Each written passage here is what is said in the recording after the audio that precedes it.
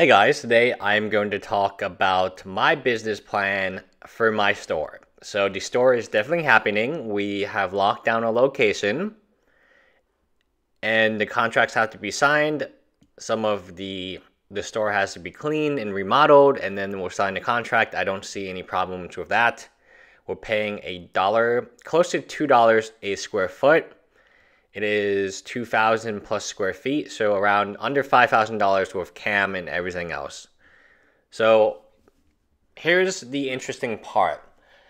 I have been researching stores, Magic the Gathering stores, and how they closed. In particular, there's one I've always followed, which was MTG Card Market. I followed this store, although it's located in Chicago, mainly because one of the previous partners was his name is Noah I have talked to him on LinkedIn.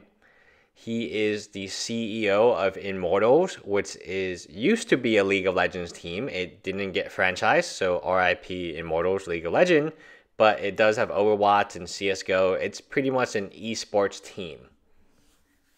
And his background is in this MTG as well as big data, which is the same background I have. He's just a lot younger and better at getting investors which his investors, so my investors have like a million dollars net worth, maybe $10 million net worth. His investors have $1 billion net worth.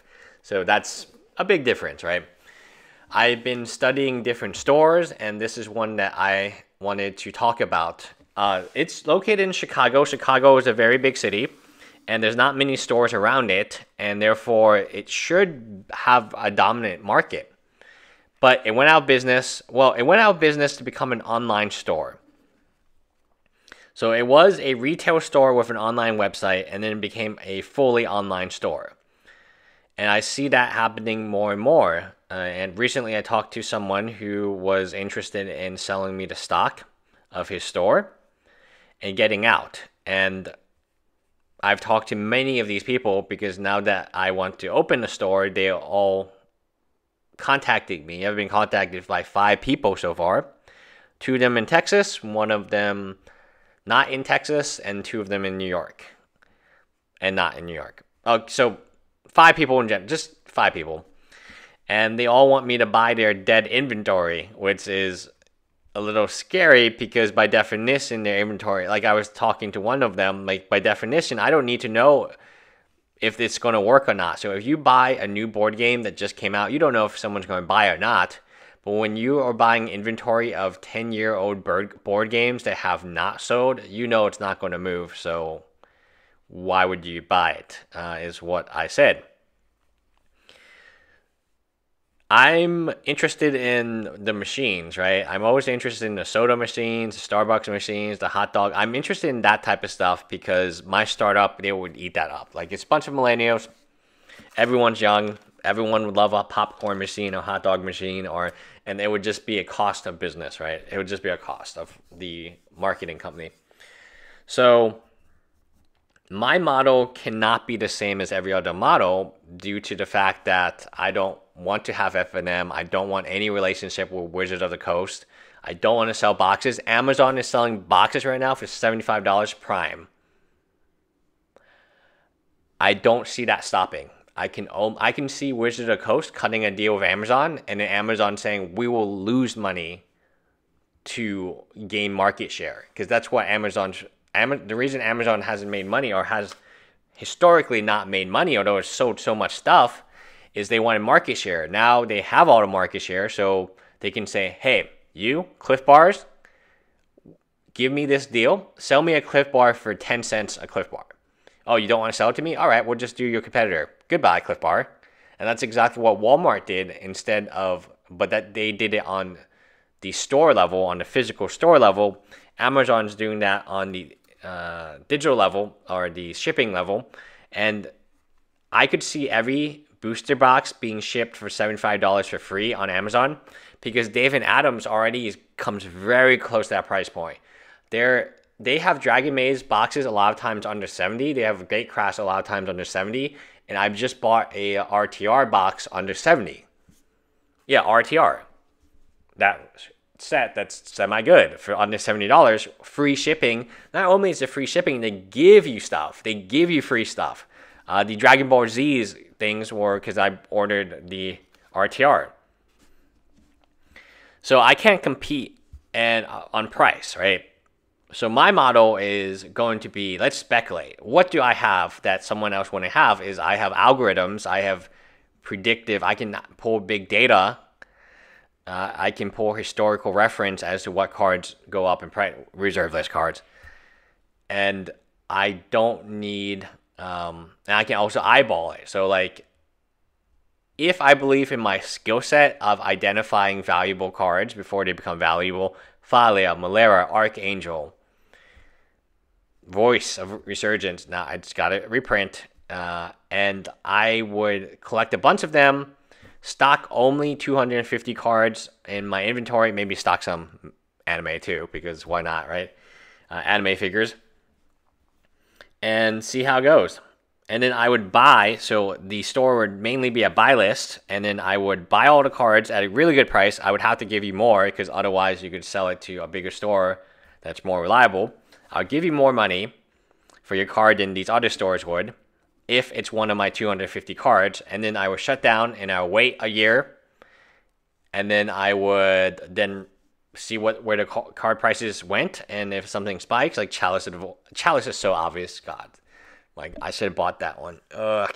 I was looking at it too. I was like clicking the button. I had like had 20 of them. I was like, yeah, should I buy this? And I was like, no, I'm not gonna buy it. This is dumb because the price point was too high. Like that's the one thing I, the one thing I haven't been able to overcome. I love Liliana the Last Hope, but her price buy-in is not something I'm comfortable with.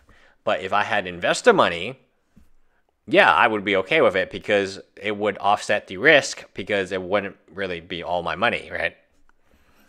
Now, you might think, oh, what type of investor would be so dumb to do that type of stuff? Well, you know, they trust me and I have delivered a very high return. I've returned their money and then some over two years. So why would they not invest with me? Right? I mean, unless the idea is totally crazy, but the concept is very simple. Is every day I make MTG finance videos. Every day I'm looking at what goes up and what goes down. My knowledge base of MTG finance should be higher than the average person's who's looking to buy a card. Therefore, I should be able to predict what goes up and down based on trends. And even more so, if I had a buy list, I could see what people are trying to sell to me and what people are not trying to sell and what the price points are. I could easily make an app that pulls the data, and these are I think these apps already exist that pulls the data from TCG Player. It's just an API app. It's no biggie. Uh, I make much more complicated apps in API apps, uh, based API based apps, what API web based apps than than currently exist. I think in the marketplace.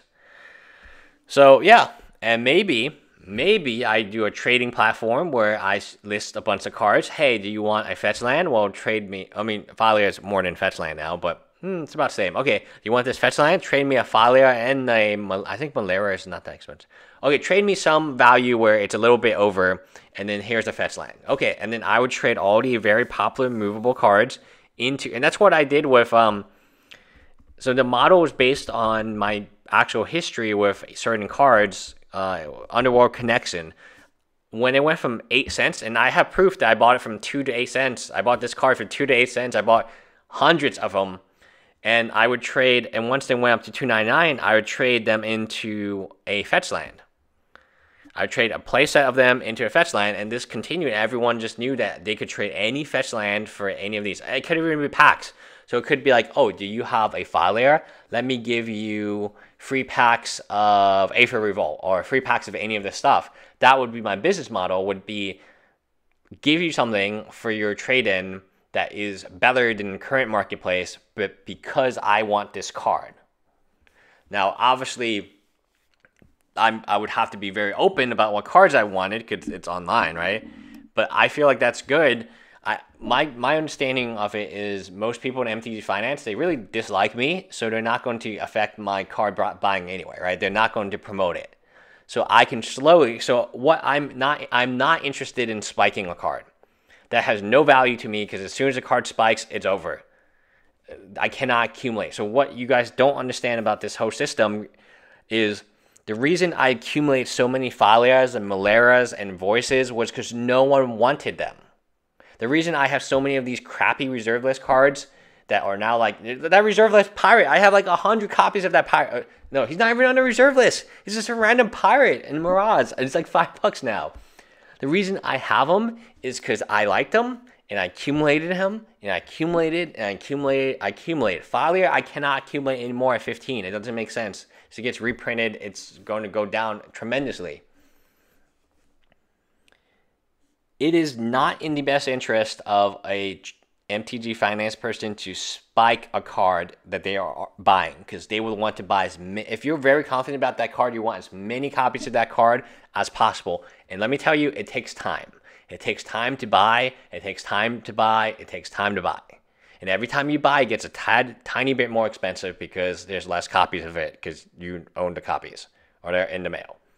So when I see like these other like articles and things, it, it doesn't make any sense to me. Like I don't see how like that would be a, I feel like maybe they don't own the cards that they said they owned and they spiked and they just predicted a spike, but they didn't actually buy the card.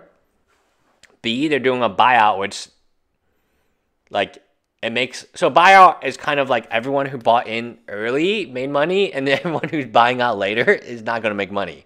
So someone loses in a buyout, right? Or C, they just don't really. I mean, they're just trying to get the monthlies, right? They're trying to get paid subscription. They're trying to get the Patreon money, like I'll, I'll just be point blank. It makes no sense to me why, if I love Thalia, I do not want her price to spike until I have fed on her and just just had so many, like a thousand copies Thalia, ten thousand wouldn't even be enough at two dollars, right? Like if I knew Thalia would be a ten dollar card, which I always said I knew, then buying, then I need to accumulate copies of her at two, and I just, but I need time you're not going to accumulate 10,000 copies overnight without affecting the market. You need to slowly buy into it. And that's what happened to Thalia. It took forever for her to get to five. It took forever to get for her to get past two. Like she was always under two. And I have the records, I have the TCG invoices, I have all this, right? Like it's not fake. When you buy a card, you get an invoice. You just have it's sent to an email. Anyway, that is my new card business. We'll see. I don't know. I don't know if it's going to work. I'll find out really soon, though. Bye, guys.